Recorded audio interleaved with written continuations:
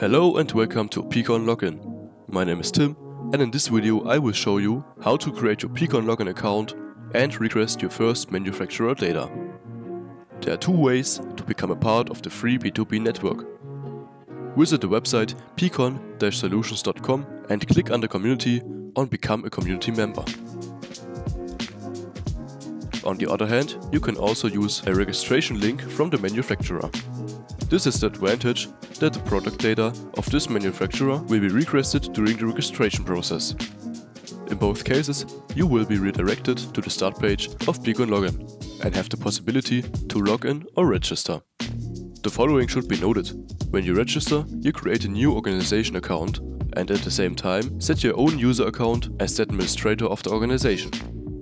This means that you are responsible for the administration and can invite colleagues to the organization.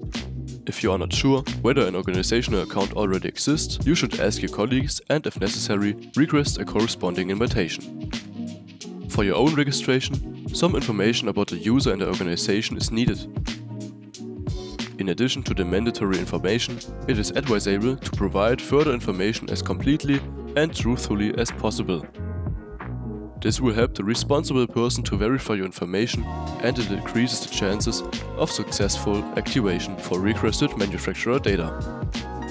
Once you have made all the entries, you can create your account by clicking on Register. You will then receive an email with a confirmation link to activate your account. If you don't find this email in your inbox, it's worth taking a look in your spam folder. By clicking on the link, your email address is confirmed and you can log in. If you've started your registration with an invitation link from the manufacturer, the data of this manufacturer are immediately requested for your account with the registration.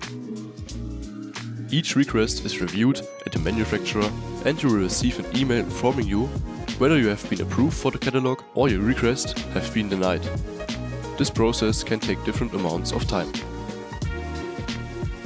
To request additional manufacturer catalogs, simply use another invitation link from the manufacturer. These catalogs can be requested even more conveniently with an activation for the pCon community. Membership in this international B2B network is free of charge and applies to your entire organization. How you as a professional user from the interior industry can become a part of the pCon community you will learn in our next video. Thank you for your attention and see you next time.